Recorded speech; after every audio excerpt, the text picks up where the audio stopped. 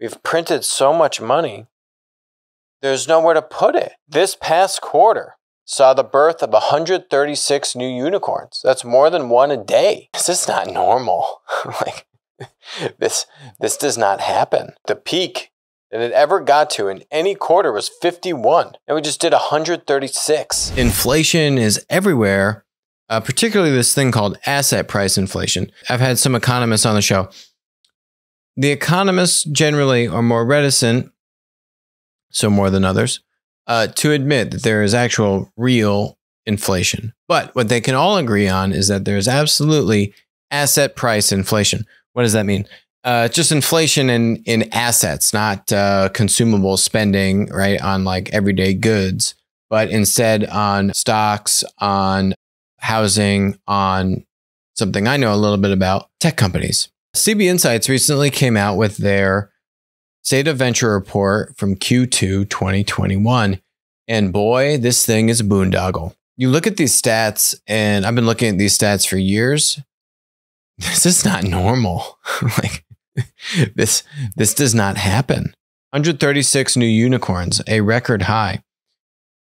This past quarter saw the birth of 136 new unicorns. That's more than one a day, nearly six times the 23 unicorns in Q2, the same period last year. Now, you could say, you know, Q2, right? COVID had just hit. But in all of 2020, there was 128 unicorns. Right. So these are tech companies that received a billion dollar or more valuation, right? So they were sub a billion dollars and they raised more money at uh, uh, at least a billion dollar valuation.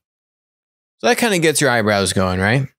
93% Silicon Valley jump in funding. It's a 93% year over year jump in the amount of deals that they're funding. 2,893 M&A and IPO exits, up over 100% year over year. That's just a count. It's not the total, uh, you know, value. Just things are popping off. This is the graph of uh, unicorn births. Look, the peak that it ever got to in any quarter was 51. And we just did 136. What? What? This is global funding. 156 billion. The highest quarter ever was 78 billion in Q4 of 2018. We did 156. Literally double. We've printed so much money there's nowhere to put it. So basically, that's the report. It's a 190 page report. That's the report. Valuations are absolutely insane. That's why everyone's just IPOing. I mean, look at this, right? Nextdoor is going public at uh, for for a 4.3 billion dollar valuation via SPAC. They're going to get uh, almost 700 million dollar fundraise. Another company, which I love, I love this company, uh, Xometry. They uh, just went public in the past few weeks. Xometry is actually like contract manufacturing. So, yes, you're buying a product. That product is being custom made for the business customer. They have a network of over 5,000 of these kind of smaller machine shops, like metal machine shops, many of them, but different types of machining shops you can see here. Their customers are like NASA, for example, or um, uh, automotive manufacturers. Super cool company in in the B two B space, which I you know I love so much, and they just went public. Really good growth, almost hundred percent uh, year over year growth from 2019 to 2020. Top line, looking at revenue, 80 to 140 million. It is now currently valued at three billion dollars. Actually, in September of 2020, they raised 75 million dollars at roughly a 550, $550 million valuation.